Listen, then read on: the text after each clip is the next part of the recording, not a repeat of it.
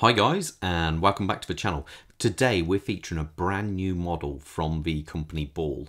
This is their outlier and it's part of the Engineer III range of watches and personally I think they're onto an absolute winner with this watch. I was lucky enough to get to see it and speak to the guys at Ball um, over at Watch Pro last weekend in England, in London and wow I thought this is a real standout model to be fair it's got so many cool features and it's a true well what people call a true gmt which i'll demonstrate in a minute when compared to the Sinn with the eta movement in there. Now but before i get too far into the review i've got to say a massive thank you to ryan and the team over at francis and Gaye of coventry for allowing me to review this watch they've got so many watches, guys. Honestly, if you're in the Midlands area, it'd be rude not to pop in. If you're further afield, check out um, the description below as I'll leave a link to their website there. So anyway, let's talk sizes first. Um, it's got a few quirks when it comes to the sizes. The case size is 40 mil, but the bezel size is actually 41 and a half mil. Now the thickness, again, I think Ball put it down at 13.8. I actually measure it 13.4 and if you take into account the Cyclops on there, it goes up an extra millimeter, so it goes up to 14.4, and the lug width is a very nice 46.5. Bracelet size is 20 millimeters.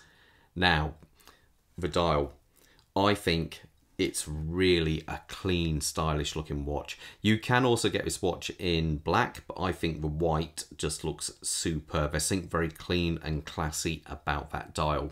Now, as you can see, we've got the trademark of Ball, really, which is their tritium tubes. Now, I think they've done it quite tidy and kind of they've done it a lot more cleaner than they do on some of their other watches. In fact, there is 29 tubes in this watch. I would hate to put a Geiger counter next to this one because obviously they are slightly radioactive. But what that means is these glow all the time. And to be fair, it is superb. Even the bezel glows and it has a uh, differential kind of darker view for nighttime versus the daytime view there. And I think that is just a stroke of genius. One of the other things I really do like on this watch um, so many GMT models never have the GMT hand lit up. And I think that's a real shame, but Ball do that. So absolute hats off to them for doing that. I think it's, you know, it's about time. If you get a GMT watch, you actually want to see the second time zone potentially in low low light conditions, and they actually do this. Now, talking about their hands, they are incredibly well polished and I like the fact you got these little see-through tips there. What that helps is as that passes the date window with the Cyclops you can still see the date and the GMT hand is quite a weird affair there but it works all ever so well and obviously you have a trademark railway um, logo on the back end of the second hand acting as a counterweight for it and I do think that's quite a nice touch. Um, we do have a fair bit of writing on here, one 1000 Gauss. Um, so, and the 200 meters water resistant, and most importantly, a chronometer spec movement, which we'll talk about more in a minute. So, this is quite a cool. Honestly, I think it's quite cool. Look at the way they sculpted out the uh, rehaut there, going around our chapter ring, and they've got little tiny tubes up there as well. There is so much going on in this dial, but somehow it doesn't feel cluttered and that is quite a, a, cool thing to say. I like the fact you've got the orange on the GMT hand, the little orange segment up there, and the pip at the top being orange there. So overall, I think they've done a full-on, really nice job of this watch. Um, as we come past that, obviously we have this lovely sapphire crystal. We do have a Cyclops, 50-50. Mm, some people like them, some people don't, but that's the way it is. But you can see we've got this nice boxed raised up section here, and that looks superb. Now the bezel, you might think is actually fixed being a GMT, but it isn't. So you can actually rotate it. And what this does, which I think is superb, you get half increments. Because so many people I've heard um, complain that GMT watches do not account for the 0.5 time zone, so in between. And this one actually does. Even the Rolex GMT Master 2 doesn't do this and I think that's really cool. What this basically means is you can run three time zones on this and that is fantastic. Let me demonstrate how the actual GMT function works and why they call this a true GMT. So at the moment we have got standard time on it. So this would be home time possibly. Your local time would be 5 to 2. So yeah, nothing, no problem there. But when you're reading a second time zone, you can read it here. So this would be 5. So use a minute hand as normal, 5 to 10 in the morning. So let's say you were flying somewhere and the place you're flying to is two hours ahead. Now, the beauty with this, if I pull it out to the first click, I can independently set that hour hand. So you can see there, I can move it two hours no problem at all and that's what makes this watch really really good if i was to demonstrate on a ETA based module, this one being the 2892 or in newer models it's the, I think it's the SW300. Let me move this out of the way first so you can see the GMT hand there. Now let's say we move forward two hours there, if I go and pull this crown out, you know, you cannot move it, you have to move, where is it? There we go. You can only move the GMT hand.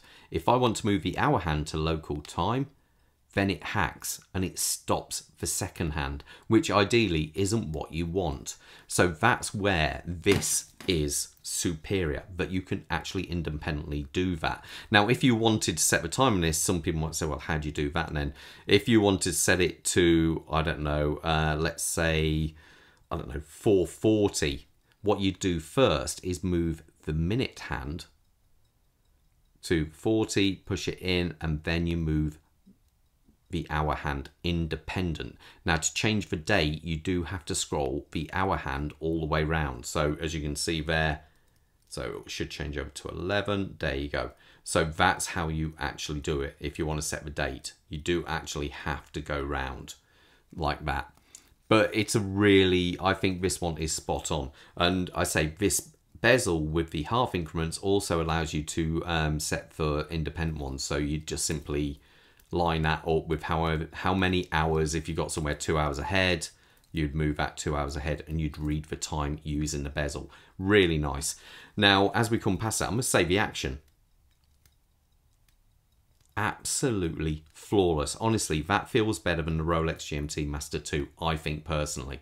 Now, when it comes to the body of the watch, um, all polished sides, as you can see. We do have nice big chunky crown guards on the um, crown there. The crown is a screw, uh, screw down crown, so that's always good. That's locked in there. And the back of the watch, you do have the logo on there with the different um, time zones printed on there as well, which makes for uh, makes it a tad easier if you want to know roughly how far ahead somewhere is. So you can do that off the back of the watch. And one thing I must say, it's very smooth. It doesn't feel harsh in any way, shape or form. Now the bracelet, oh, one thing I should say, the movement behind it is the RM7337C. Now I, you know, I put this on the time grapher and as it says, it's a chronometer spec movement it was flawless. I think it was running plus two seconds. One thing I must also say about this watch, it is a limited edition of only 1,000.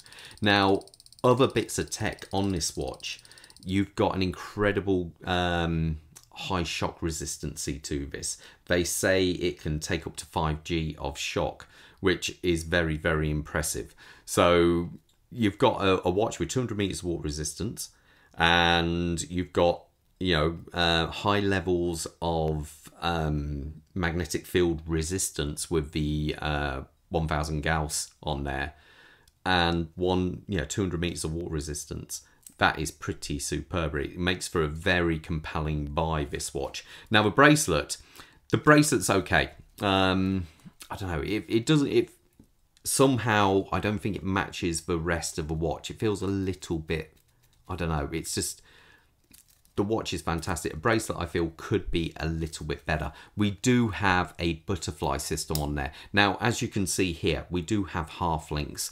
So that enables you to hopefully get the fit you would so desire. They are screws, so it makes it pretty simple to change out yourself. And you do have a logo on there. Let me put it on my wrist so you got an idea how it actually looks. quick wrist check. I'm wearing a Pekingese on the new Artemel um, hybrid straps, and they are gorgeous, I have to say. Um, Mr. Bob, what you wearing? The Panzera. Now, the Panzera, I think, is a very cool watch, and that is in for review. So we're going to get back, and we're going to see more of that soon. So my wrist size is seven and a quarter inches. Now, to be fair, I haven't sized this watch in any way, shape, or form, but there you go on my wrist, and I think it looks good. It does hunker down due to the um, slightly they slightly curved lugs on there, but it does seem to sit quite nice and level, yeah, low down on the wrist, so that's no problem at all. But I think it's a really, really handsome looking watch on there. They've done a real good job on this one. Anyway, guys, let me know what you think of it in the comments below. And most importantly, stay safe out there. Bye.